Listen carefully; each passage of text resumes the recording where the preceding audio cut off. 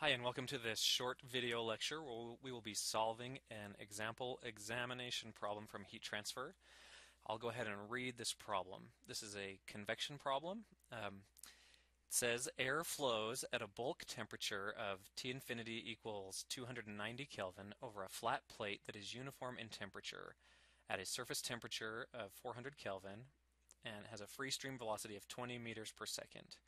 The plate is half a meter wide and 10 meters long. At a distance of 1 meter down the plate, there is an obstruction that ensures that the flow downstream is all turbulent. And we need to estimate the total heat loss from the plate here. So we're given the thermal properties below.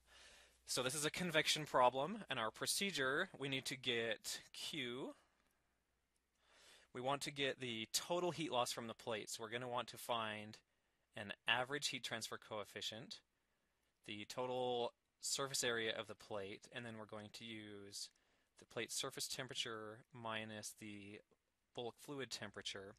So first we're going to need to find H, where H is going to be a function of our Nusselt number. And our Nusselt number is going to be a function of our Reynolds number and our Prandtl number. So our Prandtl number is given here. So first we need to find what our Reynolds number is. So Reynolds number is a function of x in this case. So our Reynolds number actually changes with distance down the plate. So that means our fluid flow might change as we go from the leading edge of the plate down to the end, our fluid might change dramatically in terms of its characteristics. And specifically, I'm referring to if it's laminar flow or turbulent flow, that has a big impact on the heat transfer relationship that we have. So we need to find the right correlation based on what our Reynolds number is. So first, let's look at what our Reynolds number is at L. So at L equals 10 meters, our Reynolds number is going to be rho times our velocity times our plate length divided by mu. So we have all of those terms in here, and I'm going to skip the plugging and chugging. We have everything available here and also here and here. So the Reynolds number at the end of the plate is 1.09 times 10 to the seventh. And you can verify this on your own by taking these numbers and plugging them in. So this is definitely turbulent flow by the time it gets to the end of the plate, just judging by Reynolds number. And our critical Reynolds number for flow over a flat plate in this particular circumstance is 5 times 10 to the fifth. So any Reynolds numbers above 5 times 10 to the fifth means the flow has gone turbulent. So typically when the flow first hits that leading edge, it's laminar. And then for sure, by the time your Reynolds number exceeds 5 times 10 to the fifth, your boundary layer, so we start out like this, the flow goes turbulent, and this Reynolds number is a good indication of when your flow has gone turbulent. So a lot of the correlations use that as a standard. So this problem is a little bit interesting. So normally that flow would transition from laminar to turbulent at whatever x um, corresponds to this critical Reynolds number. So typically, um, when you reach that Reynolds number at a distance of x down the plate, then you would need to use a different heat transfer correlation. This problem is interesting because we have this obstruction here that is going to guarantee that it's turbulent from this point down. So we know for sure that it will be turbulent because the problem tells us that. We have this obstruction that trips the flow and starts to induce eddies, and now our flow is going to be turbulent from here on out. So our next step will be to evaluate the Reynolds number here at that point.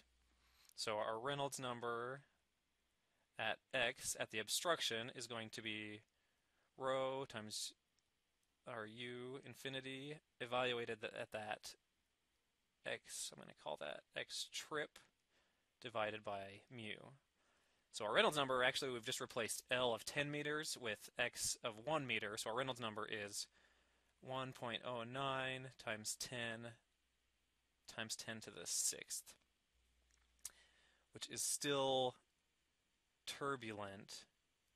So basically what our Reynolds number is telling us is that even if this obstruction weren't here, our flow is already turbulent at that point. So that obstruction doesn't really do much to change the fluid flow characteristics.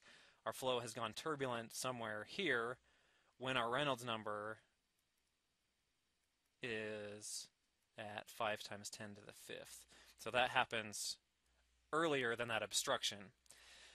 So the next step, so we're looking at our Reynolds number. We know that we definitely go turbulent in this particular problem, but we have to assume that the flow starts out laminar as that as the flow encounters that leading edge of our plate.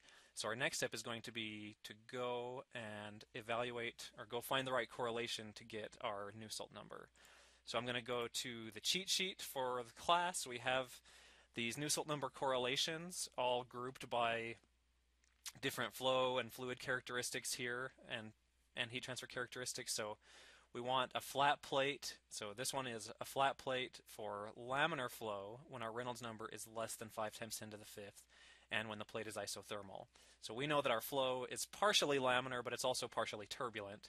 So this relationship, we could use this to evaluate the first part of the plate, but it wouldn't be valid after the flow switches to turbulent. So let's keep looking at different correlations.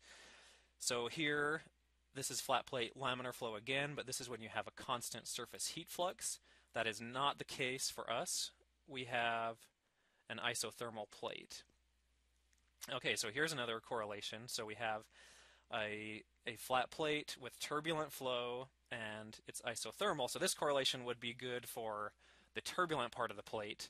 So we could use a combination of these two correlations, the laminar plate and the turbulent plate, and evaluate the total heat loss over the laminar region here, and then the total heat loss over the turbulent region here, knowing that the, the flow goes turbulent at whatever x corresponds to this Reynolds number. So that could be one approach to take. But because we've studied really hard for heat transfer, we know that there's another correlation. So this is a flat plate with mixed conditions. So this accounts for both laminar and turbulent flow. So this relationship is effectively a combination of these two different relationships where the, this has been integrated from zero to the critical Reynolds number, and this one has been integrated from the critical Reynolds number to the end of the plate. So this correlation here is actually a combination of these two. And we this A term lets us account for this mixed condition. So we need to evaluate this A term. So we can evaluate the A term here. So in this case, because our obstruction happens after the flow has already been transitioned to turbulent, that obstruction and the Reynolds number at that obstruction is not really meaningful in this problem. Here we would just use the critical Reynolds number of 5 times 10 to the fifth. And we'd use that same critical Reynolds number here, 5 times 10 to the fifth. So once we do that, we end up with an A value of 871. We plug in that A into here, and this is our correlation. So remember, these correlations are derived, for the most part, they're derived experimentally, and that sometimes this correlation isn't particularly meaningful other than we know that it we can use this relationship with the known fluid flow characteristics, the Reynolds number and the Prandtl number, to get a Nusselt number, which we can then use to get our convective heat transfer coefficient. So I'm going to go ahead and use A is equal to 871. Again, that is because it's just the Reynolds number itself that tells us when the flow has transitioned from laminar to turbulent, and that happens before this obstruction. So really, the obstruction is sort of just a red herring in this particular problem. It doesn't really affect which correlation we would use or how we would use that correlation. If, however, the obstruction occurred here, then that would become our critical Reynolds number, even if it's not 5 times 10 to the fifth yet, we would use that smaller Reynolds number to determine this transition point here. So we'd use a smaller number here, and that smaller number would be the Reynolds number evaluated at the obstruction.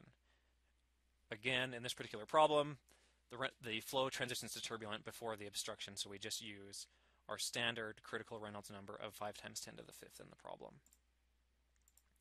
So it's a lot of wordy explanation, so let's get to actually solving this problem now. And one thing I wanted to point out was that um, these relationships, you can get a local Nusselt number, which does not have the bar over it, or you can get an average Nusselt number. So we want the average Nusselt number because we're asked to find the total heat loss over the entire plate. So we wanted to get average Nusselt number, which will lead us to our average um, convection heat transfer coefficient, and we'd plug this in here to get the total heat transfer heat loss for the whole plate.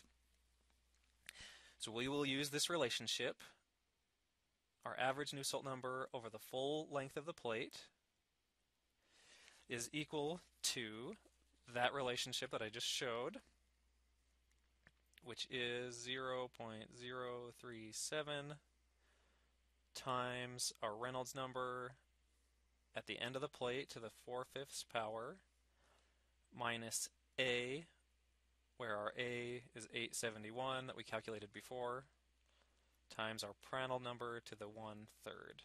So we've already calculated our Reynolds number at the end of the plate, 1.09 times 10 to the 7th.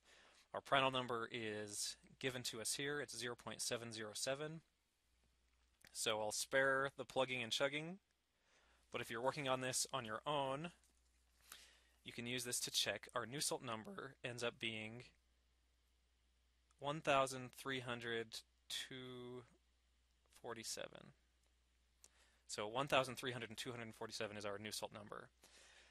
We also use this definition of the Nusselt number, which is the Nusselt number is HL over K. So we rearrange that equation and we get that our average heat transfer coefficient is our Nusselt number that we just calculated times, sorry, times K, the thermal conductivity of the air, divided by the length of our plate. And when we plug and chug, we get that our average heat transfer coefficient is 34.8 watts per meter squared Kelvin. Now we plug this in and we get our Q is equal to H bar times A times the plate surface temperature minus T infinity, which is 34.8 watts per meter squared per Kelvin times our plate, which is 0.5 meters by 10 meters, times our temperatures, which I believe was 400 400 Kelvin minus 290 Kelvin. And we get a final answer here of 19,161 watts, which is 19.16 kilowatts. And that is the answer to our problem.